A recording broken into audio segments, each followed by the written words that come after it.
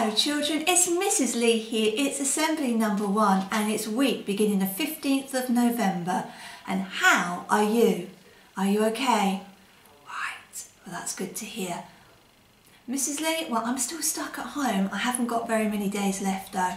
However, let's not talk about that. Let's think about, did you wear your odd socks to school? I hope that you did. Do you know why we were wearing our odd socks to school? Yes, that's right, because of it's the beginning of our anti-bullying week.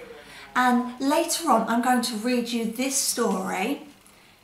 It's called, you see, One. And it's written by a lady called Kathryn Otoshi.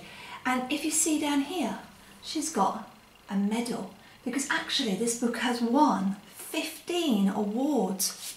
Wow, it's a really lovely book. In fact, I think it might be my favourite one so far this year. So we'll read that in a moment. So, what we need to do is our routine, that's right. Okay, so I'm going to show you a clock in a moment and I want you to tell me what the time is. So I need you to think about, that's right, the long hand which is the the minute hand, where is it? Is it on the number 12? If it is, we know that that means, yes, that's right, it's o'clock. But if it's on the 6, we know that it is, that's right, it's half past. Okay.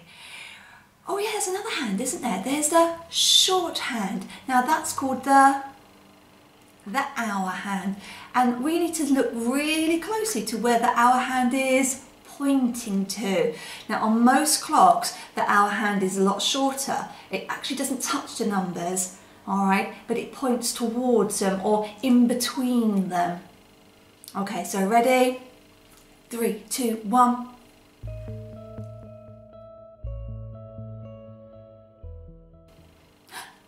Did you work it out?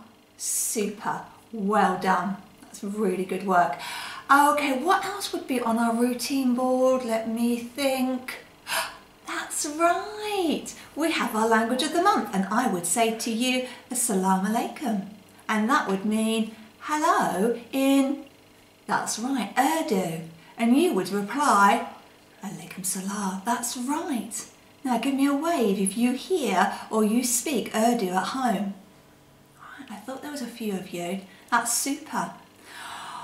Okay, right. Mm, oh yeah, and then on our routine board we've also got the Makaton sign. And this week, to match my book and to match my ooh, odd socks, I want to think about the Makaton sign for kind. Now we've done the Makaton sign for kind before. It goes like this and then up like that. Can you do that for me? So we're pointing our finger down and our thumb comes up. Pointing our finger down and our thumb comes up. And that means kind. Kind. And I want everybody in Hartford Infant School to be kind.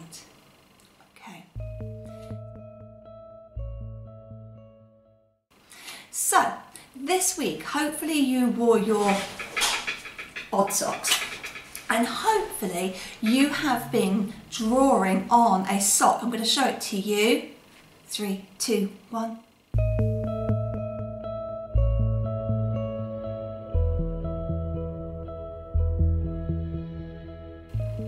Did you see it? And hopefully in each of the stripes you've thought about somebody who you could talk to if you were feeling sad or if you were feeling angry. It's absolutely fine to feel and angry, but I think it's a really good thing to talk about it with somebody who you know who could help you. So you might have chosen your mummy, you might have chosen your daddy, but I hope that you've thought about people in school too who could help you have a little look around the classroom and see if there's anybody there who you think if you were feeling sad or angry you could talk to to share your problem. That's right, there's lots of people, isn't there? Maybe some of your friends, maybe some of the grown-ups, maybe some of the grown-ups that you don't see in your classroom every day. So if you were out at lunchtime, you might look and see one of the ladies in the yellow vis high vis jacket and think, oh, I'm going to go and speak to that lady. I don't know her name, but I know that she's somebody who can help me. Right, okay. So all those lovely socks that you've coloured in and written lots of names on, they're going to go up on a board in the research centre. So if you're ever feeling sad or cross and you don't know who to go and talk to, you can go and look at your sock and it will remind you. In fact, there'll be so many socks on there, there'll be loads and loads of names. So I bet you'll be able to find somebody in school to share with. And that's the really important thing, children, is if you are feeling sad or you're feeling angry within school, you need to come and share with us so that we can try to make it better for you. And we will. Right, should we have a look at our book? So like I said, it's called One. Now, in this book there is a colour and the colour isn't very kind. It's the colour red. I actually like the colour red on my sweatshirt today. But in this book, the colour red isn't being very kind. Some of you might think as you hear this book about the colour red and about somebody you know who's been like that, or maybe even yourself all right? And I want you to really think hard about that. Okay, here we go. Blue was a quiet colour.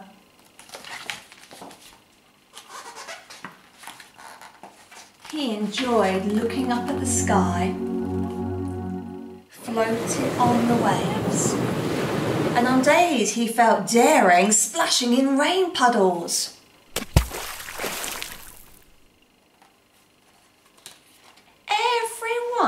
In a while, he wished he could be a little bit more like more sunny like yellow, or bright like green, more regal like purple, or outgoing like orange.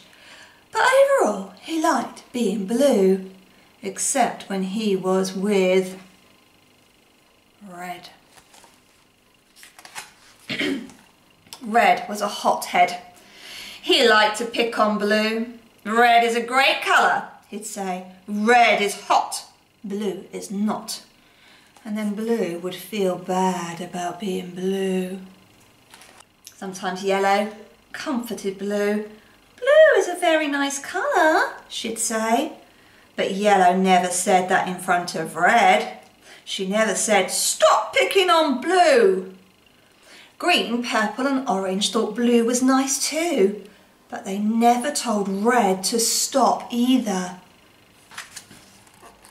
Every time Red said something mean and no one spoke up, he got bigger and bigger and bigger.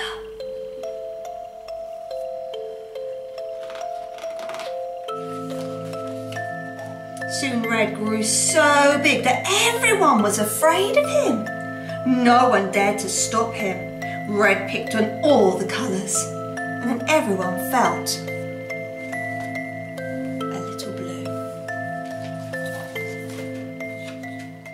until one came along. He had a different shape with bold strokes and squared corners, and he was funny. He made the colours laugh. Red saw this and got very hot. Stop laughing, he told Yellow. Stop laughing, he told Green. Stop laughing, he told Purple and Orange. And you know what they did? Red rolled up to one. Stop laughing, he told him. But one stood up straight like an arrow and said, No. Red was mad, but one wouldn't budge. So Red rolled away. one turned to the colours and said, If someone is mean and picks on me, I, for one, stand up and say no. The yellow felt brave and said, Me too. Green agreed and said, Me three and purple became four, and orange became five. One, two, three, four, five. Blue saw the colours change. He wanted to count. Red grew red hot. He felt left out. He grew hotter and hotter, whoo, and hotter. Red raced over to Blue and said what he always did. Red is hot, blue is not. But this time Blue stood up tall and became six. Red can be really hot, he said, but blue can be super cool. Red blew a fuse and tried to roll over blue. But everyone took a stand and said, no. One, two, three, four, five, six. Seeing them standing tall made Red feel very, very, very small. Then Red turned even redder and began rolling away. Blue called out, Hey, can Red be hot and Blue be cool? Red stopped in his tracks. Red can count too, said one. Red rocked and rolled and turned into seven. Everyone counts, they shouted. One, two, three, four, five, six, seven. Then Red laughed and joined the fun. Sometimes it just takes one.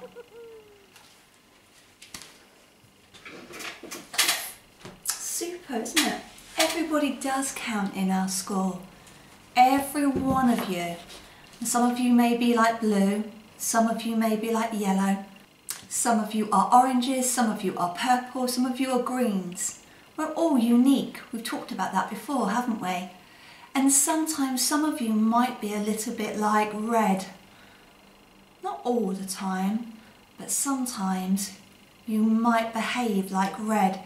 And then that's when everybody else needs to say, stop.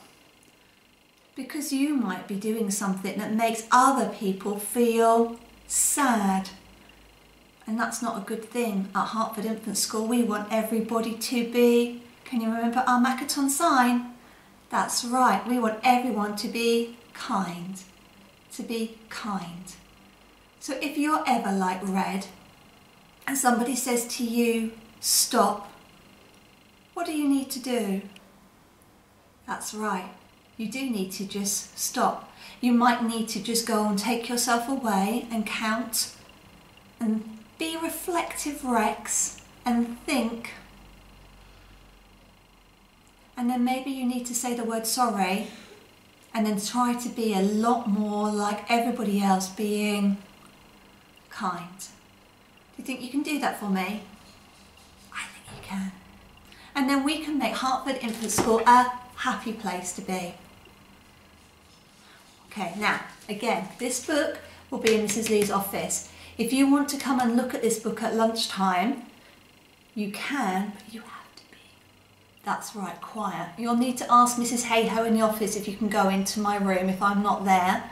All right, it'll be sitting on the side. You can pick up the book, have a little look at it and read through it. And then if everybody tries to be like all the colours in our book, but not like red, then everybody's going to be happy, aren't they? Okay, let's finish off now with our school prayer. Help me to do the things I should, to be to others kind and good, in all my work and all my play, to grow more loving every day. Amen. Okay, I'm hoping to see you all very soon. Have a lovely week. Bye.